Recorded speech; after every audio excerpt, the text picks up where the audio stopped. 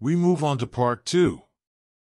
Today we're taking it a step further with the one-to-one and one-to-many relationships.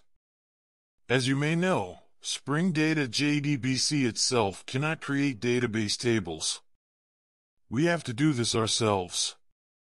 Therefore, we will first go to the MySQL workbench to configure two tables and create data.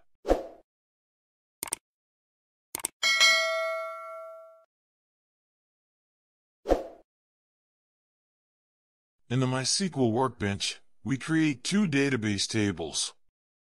Owner and address. The owner table has a ID, full name, email, and username.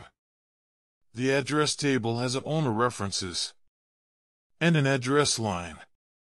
Then we create two owners and two addresses.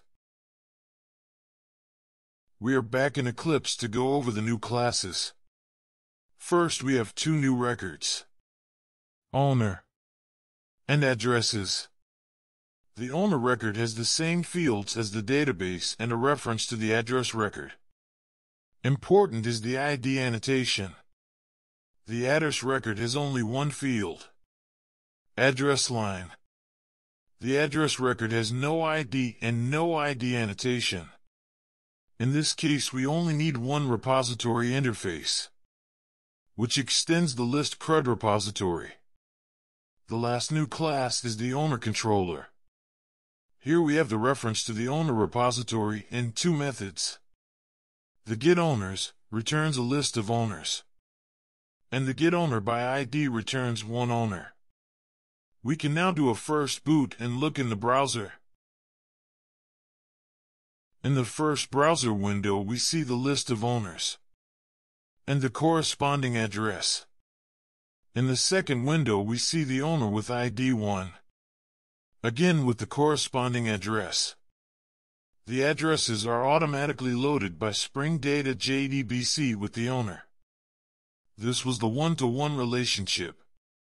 Now we move on to the one-to-many relationship. So first we go back to the MySQL workbench.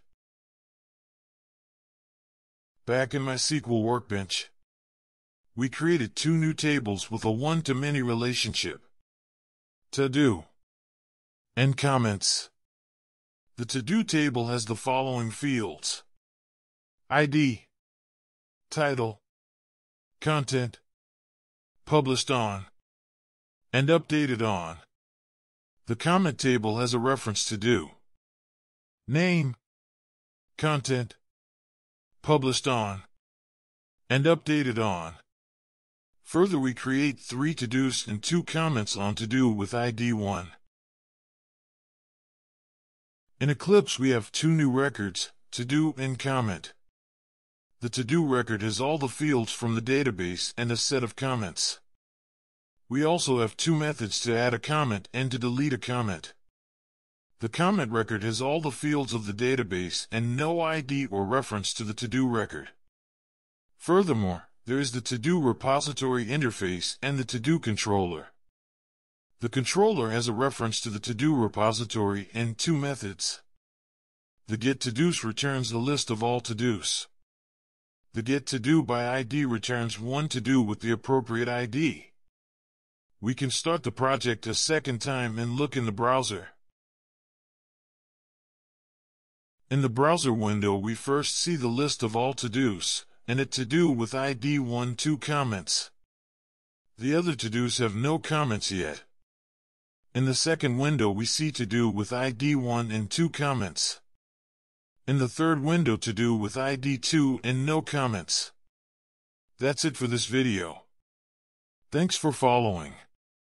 In the next video we will continue with relationships between two aggregates.